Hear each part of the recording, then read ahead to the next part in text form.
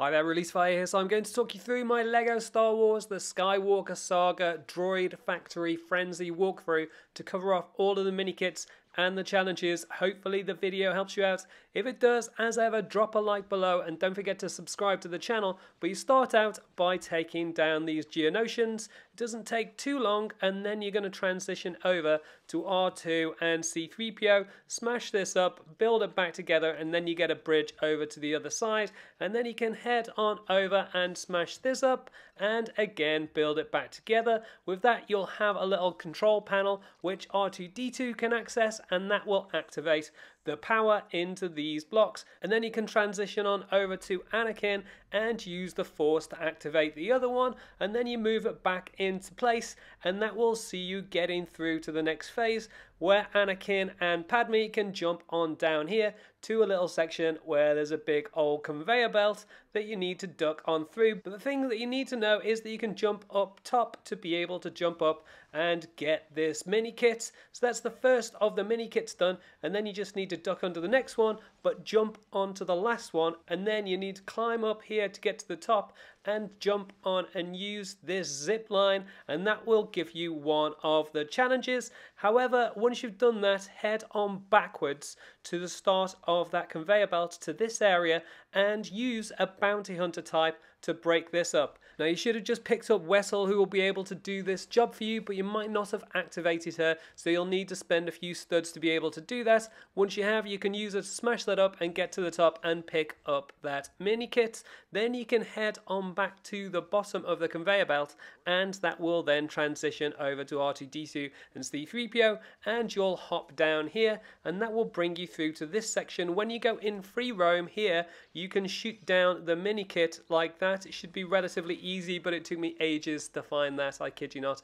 And then once you've done that, you can jump on over to the other side, and then you'll have to jump on over again into the middle section. And once you get here, you can aim for the blocks at the end and smash them up to be able to get on through. And again, smash this up build the control panel and that will allow C3PO to take over the turret and smash up this thing here. Once you do that, you'll be able to use R2-D2 to activate that, and that'll allow Anakin and Padme to make it through. However, before you leave this section, make sure you look at the painting that's being drawn and wait for it to be drawn as a mini kit, break it up, and that will give you one of the mini kits. You can then transition to Anakin and climb up here and use his lightsaber to be able to cut a hole in this wall. You don't actually need to do a big hole, you can do a really small one and it'll still break through. And then once you're through to here, break up the mechanism on the inside and then you'll use the blocks there to reconstruct a little control panel there.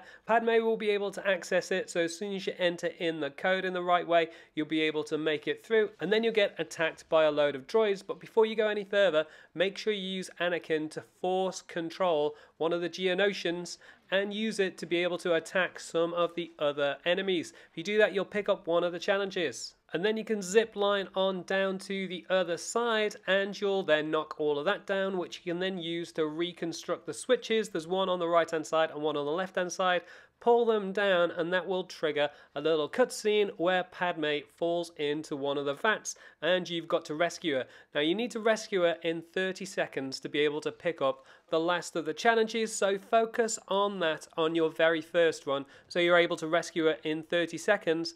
However you'll then need to go back and do Droid Factory Frenzy again anyway to pick up a number of the mini kits and when you do you'll be able to stop and take your time at the last phase and use a villain type to be able to grenade on through and then change over to somebody to grapple that open and that'll give you the last of the mini kits and that is everything you need to know about LEGO Star Wars The Skywalker Saga Droid Factory Frenzy covering off all the mini kits and the challenges. Like I said earlier, if that helps you out, drop a like, subscribe with the link on the left hand side and you can see more of my guide videos for LEGO Star Wars The Skywalker Saga with the links on the right hand side. Leave any comments and I'll catch you next time.